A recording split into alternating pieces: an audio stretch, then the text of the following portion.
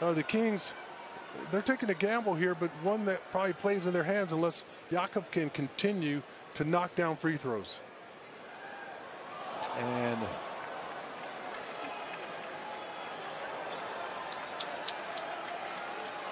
picture tells the story, unfortunately, on that one.